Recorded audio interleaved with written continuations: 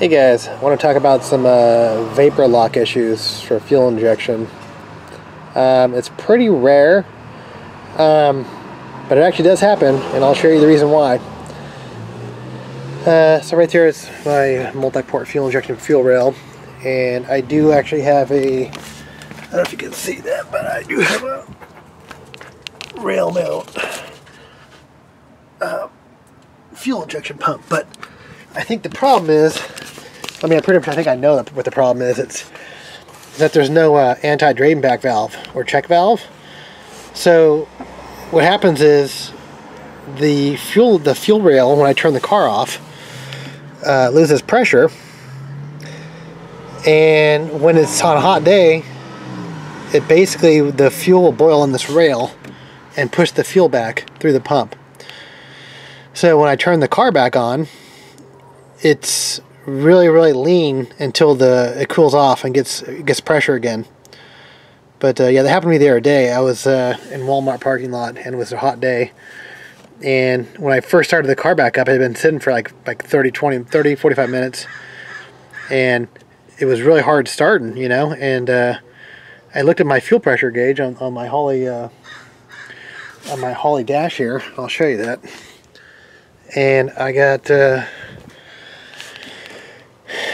it was uh, running very, very, the fuel pressure was very low. So normally I at about 35 psi, and it was about 24 psi. So I knew there was something wrong with my fuel pump, but as soon as I started driving the car and the rails cooled down and I built up pressure, you, you know, it I was around fine after that. So the only thing I could conclude was that it was boiling because there's no check valve to keep the rails under pressure when the car is off. Um, it would uh, boil back and it would allow the uh, build up a lot of vapor in the rails. So, um, so I, actually I'm going to do a couple tests here, but I do actually have a fuel gauge that I do actually have a mechanical gauge that actually goes to my computer back there. This little thing right there connects to my uh, fuel regulator. That's actually, uh, but that's not going to help me because if I have the power on, the fuel pump will be running and it's going to do a, a test. So what I'm going to do is put this fuel gauge in my rail down here if I can fit my hand in there.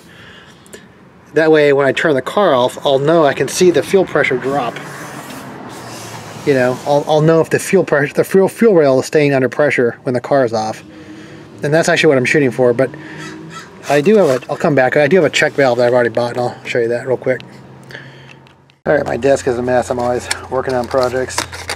I always have more projects I can handle. Alright, so I bought this over at Amazon. I'll put links to all this stuff. I, actually, I bought all this stuff on Amazon. So this is a Jegs, uh, it's a one-way check valve, 6AN because that's what I run. Gasoline, meth, biodiesel. But uh, I'll show you what this thing does. Put my camera in, I'll open it up real quick. Alright guys, here it is. Took it apart so you can see the internals of this thing. And it's basically like a flapper it's like a it goes this way fuel goes fuel goes this way. So what happens is when the fuel pump I guess this is 5 psi once it gets to 5 psi it will open this up but then it closes then the fuel pressure can't get back through. Is there an o-ring on there? Okay no o-ring but the fuel pressure it, it's hopefully going to hold that you know at least 30 psi or, or, or close to 40 psi in there and it won't get back there. So that's the idea of the check valve. Because I want to keep that fuel pressure under the fuel rail under pressure so the gas can't boil because gas will not boil if it's under pressure. At least if it's under, I mean, it's, I mean, I think 30 to 40, 40 psi should prevent that from boiling in there. So, um, yeah, it happened to me a couple times on hot days, so I'm going to first hook up that fuel gauge, pressure gauge, then I'll show you the drop. So what I'll do is I'll turn the fuel the fuel car on. You know, it will be like 35 to 36 psi. And then I'll turn it off and I'll see if it maintains pressure. If it doesn't maintain pressure, then I'm going to put this check valve valve in. If it if it does, then I'll go, what the hell's going on? And I'll have to figure out something else. So, all right. Alright guys, so I couldn't get my mechanical gauge to work right. I tried two different gauges, but... So, I actually have my uh, car connected to the battery right now. I'm going to let it run. You'll hear the fuel pump come on. And I'm going to just keep the car on. So right now it's at 34 PSI. 800 my radio down here, and I'm going to keep on coming back and look at it and see if that drops. So, this, this usually isn't actually a problem with... Uh, factory cars, because factory cars actually have a check valve. Or actually they're called, they're called multiple different names. Check valve, check ball, anti-drain back. Um, in electronics it's called a diode, you know, only allows current one way. But, uh, alright, I'm going to come back and see if that pressure drops. In a couple minutes. Right there, 34 PSI. So, we'll see. Hey guys, back here. So, been waiting about 15 to 20 minutes still 33 psi so I think this is not a good accurate test. What I need to do is get this engine really really hot. And I have the engine bay closed and it's because, I actually when I took the uh, when it was really really hot I took out the uh, the, uh, the fuel pressure gauge tap and just a bunch of hot air was coming out of it. So I know the gas is definitely boiling in the line and I got to do that. I got to keep it under pressure. So um, alright guys Hey guys, got these uh, 6AN couplers. So today I'm going to put this uh, the one-way valve on, check valve, and see if that makes any difference. Uh, I'm starting to think maybe I have a leaking in fuel fuel injector too, maybe. Just because sometimes it feels like I'm kind of hydrolocking. I am not sure 100%. But it seems like that could be something going on, you know. Um, because when I start the car up, sometimes I get like a major uh, whiff of like uh, fuel, you know. So, um, all right. Well, I mean, at least I need to, I, I, need to make sure this thing is actually there's no drain back. Yeah. So regardless if it's leaking or not, I need to have this anti-drain back in there to keep it pressurized, so it's guaranteed. You know, it's not going to go backwards. All right. So I'm gonna get I'm gonna get this put on and uh, I'll show you what it looks like. Hey, what's up, guys? Got my helper here with me little kid right here. Um, so one thing I noticed that was definitely odd is I'm taking, I'm separating this fuel line. Hey, you gotta be quiet. Um, and no fuel pressure's coming out of there. So normally this would be squirting. I mean, if this was like, like right after I turned the car off, it'd be squirting fuel pressure. But that means there's no like no this this front line going up is under no pressure at all. So um, that's not a good thing for fuel injection. Know, you want to keep that line under pressure. So, all right, guys get this thing on, I'll come back.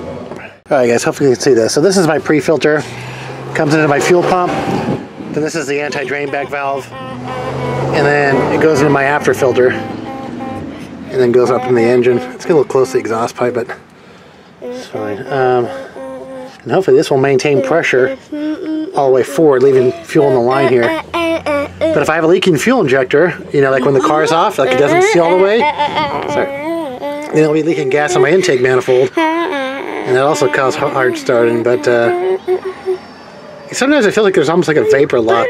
Not really vapor lock, but uh, more like a hydro lock situation sometimes. So, don't know what's up with that. But at least this will take this part of the equation out of it, so. Alright. I'm I smell. Alright guys, do a quick fuel.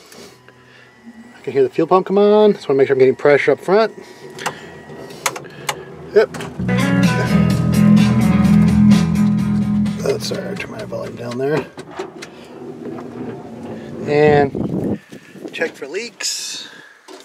And see obvious leaks. I don't really like how long that whole system is, but what I can really do, you know, I need to have two filters, so. And those are actually probably bigger, and I, I kind of got probably smaller filters on that one. But uh, the bigger the filters, the better, you know, the longer it takes to clog up. Um, yeah, I think those are Aeromotive filters.